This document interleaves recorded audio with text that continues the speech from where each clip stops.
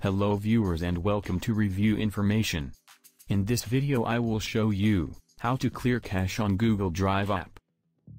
Subscribe to my channel and hit the bell icon to get notified any updates. To begin, open the Google Drive app on your phone. Tap on the three lines from the top left corner. A menu will appear from the left. Select Settings. Here you will find, Clear Cache. Tap on it.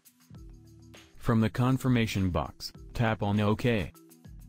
And you will then see the confirmation, document cache has been cleared. If you are experiencing problems with your Google Drive app, you can clear the cache.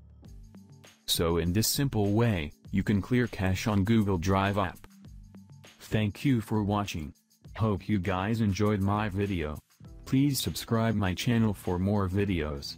Goodbye.